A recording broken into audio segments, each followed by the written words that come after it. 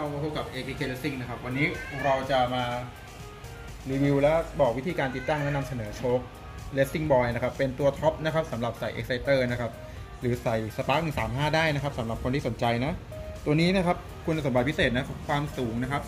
208 นะครับ 208 มิลนะครับ สามารถใส่ได้ทั้ง Spark 135 X1R แล้วก็ MSX ที่อยากจะโหลดหลังก็สามารถใส่ได้นะครับตัวนี้นะครับความพิเศษนะครับก็คือสร้างมาตรงรุ่นสำหรับ Exciter นะครับ จะเป็นตัวท็อปเลยจะมีทั้งหมดสีเดียวนะครับ ก็คือสีม่วงนั่นเองนะครับ อุปกรณ์ในชุดนะครับ จะมีโชคอัพนะครับ Racing Boy นะครับนะครับตัวนี้จะมีพร้อมกับกระปุกนะครับ ความสามารถของพิเศษนะครับ จะปรับ preload ได้นะครับ แล้วก็ปรับ rebound ได้ แล้วก็ปรับ conversion ตรงนี้ได้นะครับ ทุกชิ้นจะสามารถปรับและใช้งานได้จริงนะครับ ส่วนตัวนี้จะเป็นตรงรุ่นสำหรับ Exciter นะครับ ก็จะมีอุปกรณ์เสริมนะครับ เช่นขายึดโชคกระปุกด้านหลังนั่นเองนะครับ นะครับก็มีมาครบชุดสามารถติดตั้งได้เลยสำหรับ Exciter นะครับ ก็เดี๋ยวเรามาวันนี้เราจะมาพูดถึงในรถเลย วันนี้เราทำได้ทำการติดตั้งในรถแล้วนะครับ ก็มาเรามาดูกันเลยนะครับในรถนะครับ ครับก็ขั้นตอนการติดตั้งนะก็คือไม่ยากเลยนะครับเนี่ยครับสังเกตนะครับ Exciter เนี่ยมันจะมีน็อตร้อยหูโชคด้านบนเนี่ยครับหนึ่งตัวนะครับ แล้วก็น็อตหูข้างล่างนะครับหนึ่งตัวนะ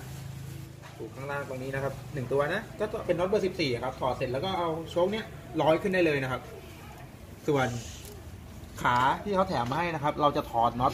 ตรงนี้นะครับน็อตพักเท้าเนี่ยออกแล้วก็ใส่แป้นเข้าไปนะครับ แล้วก็ยึดนะ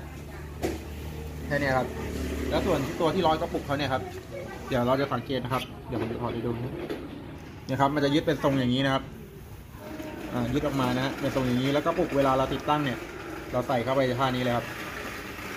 ตรงๆเลยนะครับ แล้วก็ล็อกน็อตนะครับ ก็เป็นอันวิธีการติดตั้งที่นี้เสร็จแล้วนะครับคราวนี้เวลาเราจะปรับนะครับ ก็จะสังเกตเราก็จะสามารถหมุนตรงนี้ได้เลยนะ compression ตรงนี้นะครับ compression นะครับ แล้วก็ตรงนี้นะครับ rebound ด้านล่างนะครับเห็นไหม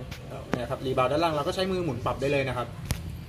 เนี่ยครับการติดตั้งของ Exciter ก็มีเพียงเท่านี้นะครับสำหรับใครที่สนใจนะครับโช้คตัวท็อปสำหรับใส่ Exciter นะครับ ก็ติดต่อร้าน AK Racing มาได้เลย ช่วงนี้เรามีโปรโมชั่นพิราคาพิเศษเลยนะครับทักเข้ามาในเพจสำหรับคนที่สนใจนะครับ ก็วันนี้วิธีการติดตั้งเราก็บอกเรียบร้อยแล้วนะครับ ก็ยังไงใครที่สนใจนะครับ ติดต่อเพจมาได้เลยนะดูความสวยงามนะครับ